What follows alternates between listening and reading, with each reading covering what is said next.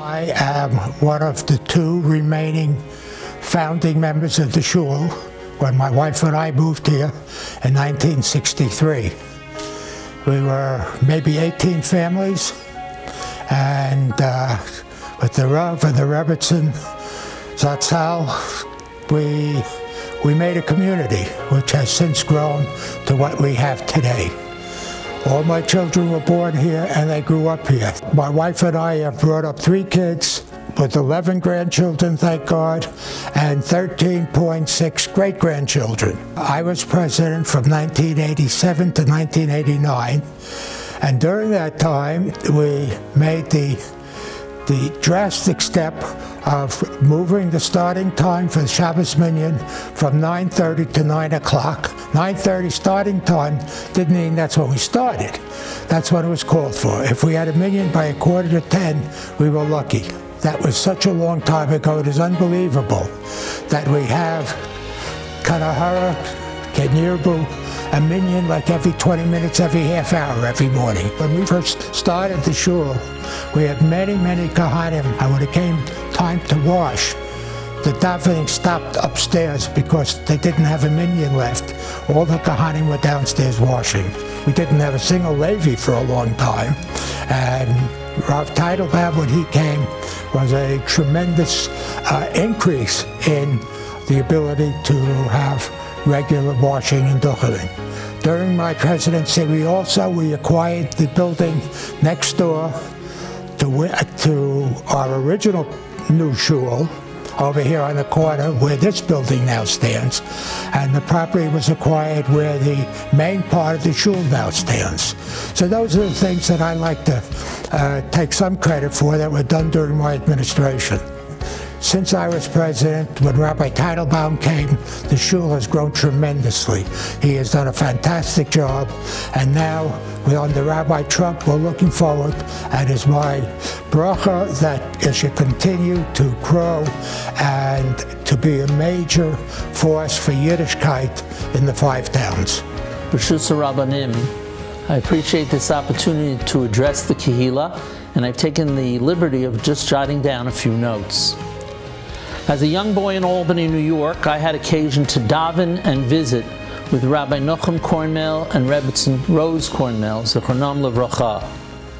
Decades later, my wife and Janet and I, strolling through Cedarhurst, discovered Rabbi and Rebbetzin Kornmehl at the Young Israel of Lawrence Cedarhurst and resumed a wonderful relationship with this modest scholar of deep wisdom, insight, knowledge, and wit. Following an apprenticeship under President Arnie Olshan, before accepting the shul presidency, I approached Rav Kornmehl and inquired, Rabbi, I've been asked to serve as president of your shul. I don't know whether I merit or deserve or am capable of leading a shul of which you are the Rav. With that, he answered with a twinkle and a smile, You might be right, but do it anyway.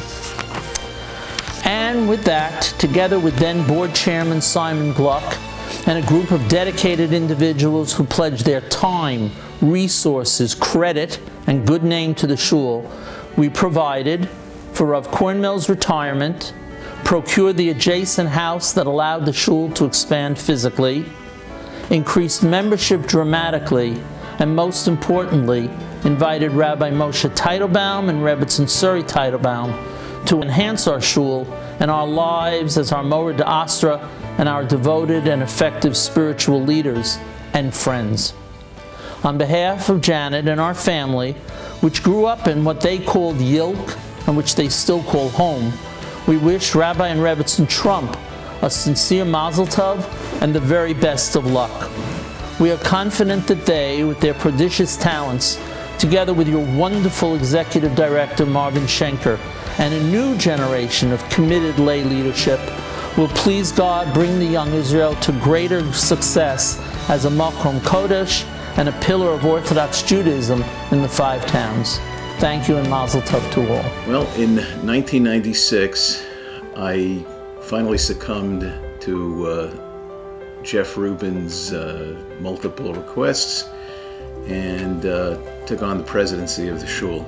Through Jeff's vision, he assembled a team to begin the construction of Project Nidivim. For us who were used to davening in a very small, small shul, and the vision of the growth that would occur over the next God knows how many years, uh, we, we, we did something right.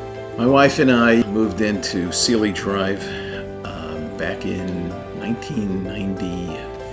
1993. We just had uh, Evan, our youngest. We moved here knowing that we would daven at the Young Israel.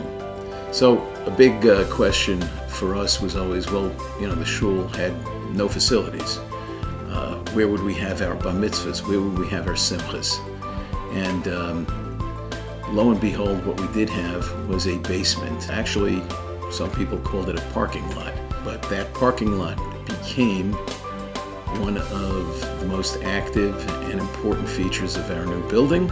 Everything from learning in Shalosh Shuddis and uh, Simchas and Kiddushim, that was a crowning achievement uh, of our campaign.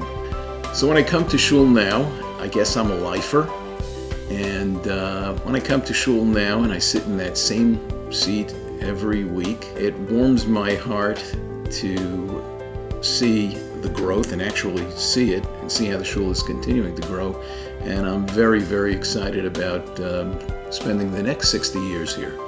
So, um, mazel tov to everybody, mazel tov to Rabbi Trump, big um, mazel tov to, uh, to our rabbi, Rabbi Teitelbaum, uh, because without the rabbi and the Rebbetzin, none of this would have been possible.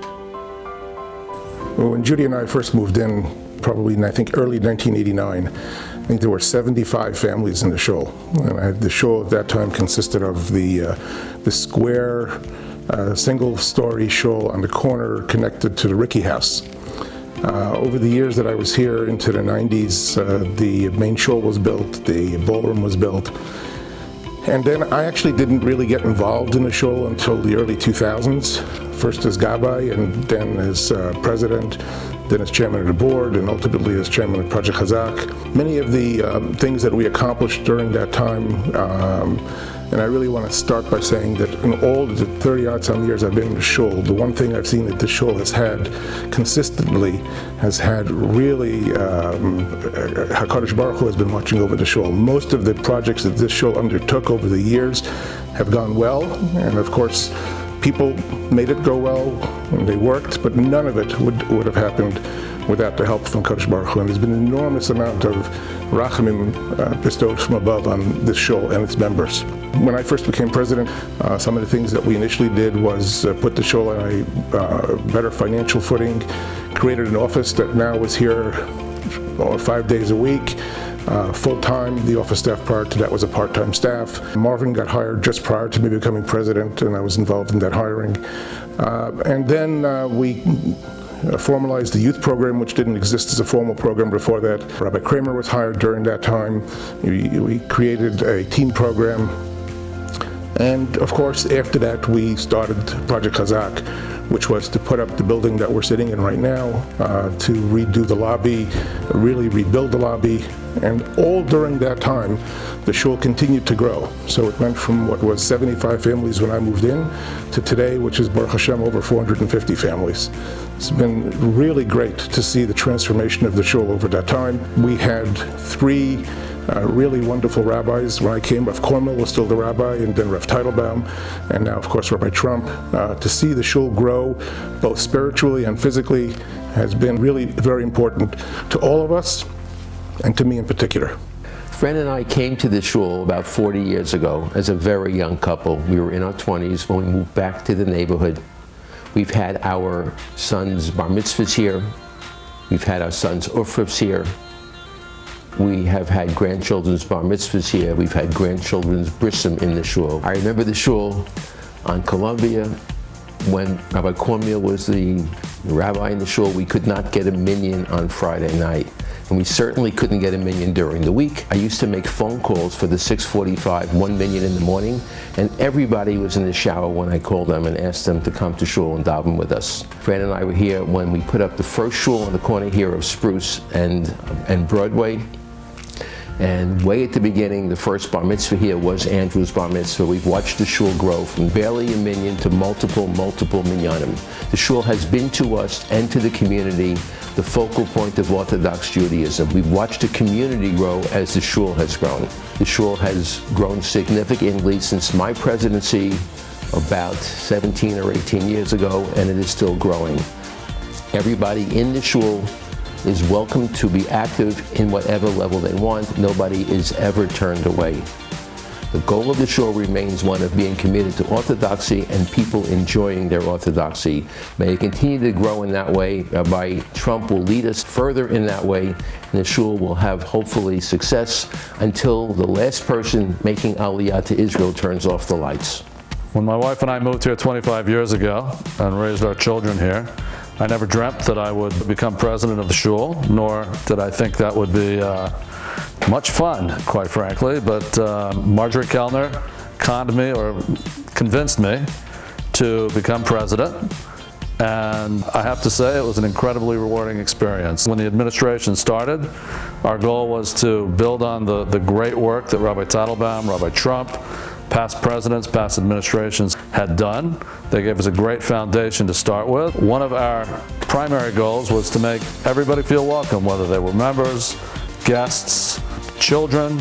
One of the examples of trying to make people feel welcome, as everybody knows, I would walk around on a Shabbos and shake everybody's hands. I have to say, it was incredibly rewarding to do that because I, I didn't realize how many really special people we have in the shul. It was really a fantastic way for me to meet all of our members and, and get to know them in a, a much more intimate way.